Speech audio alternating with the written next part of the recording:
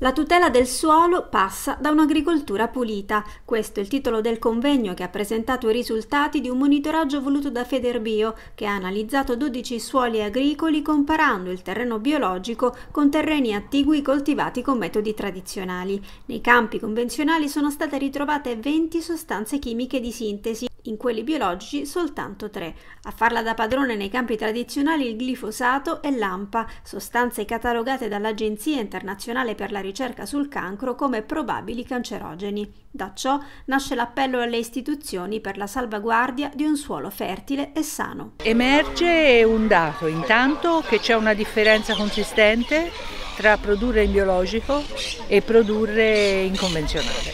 perché i residui di eh, sostanze chimiche, di molecole eh, di sintesi per eh, fitofarmaci usate in agricoltura eh, sono consistenti in, in produzioni soprattutto intensive e non ci sono nel biologico, c'è solo qualche residuo, pochissimi di vecchia data, come ad esempio il DDT, una sostanza che non si usa più dal 78 ma che è, è rimasta comunque nel suolo. Quindi è evidente una cosa che si può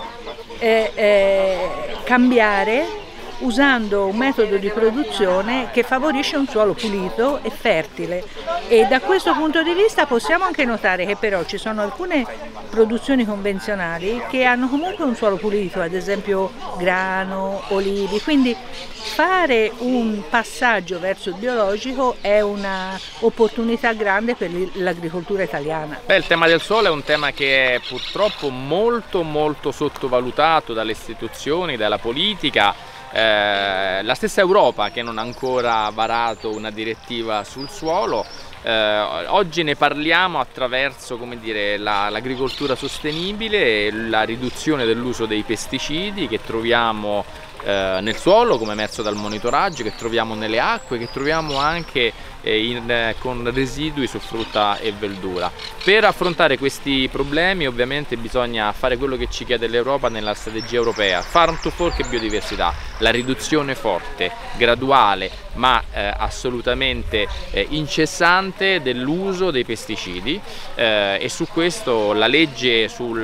sull'agricoltura biologica approvata recentemente dal Parlamento italiano può dare un contributo importante ma serve anche ehm, adottare un, il PAN, il piano nazionale eh, sui eh, eh, pesticidi e dall'altra parte un piano strategico nazionale che è diciamo, eh, la versione italiana della, della nuova politica eh, eh, agricola co comunitaria per appunto fare in modo che la lotta alla, diciamo, alla presenza dei pesticidi nell'ambiente con tutto quello che ne consegue sulla biodiversità e sulla salute umana si possa fare in maniera concreta e veloce come appunto chiedono le istituzioni europee. Proprio tre settimane fa noi abbiamo portato in giunta l'adesione alla Carta del Suolo, della difesa del suolo, dopo un progetto europeo che Roma ha sviluppato e quindi dà delle eh, ovviamente indicazioni importanti su, non solo sull'uso del suolo ma sulla eh, decementificazione eh, di ritornare appunto a occuparsi mh, del suolo in termini idrogeologici, in termini di contaminazione.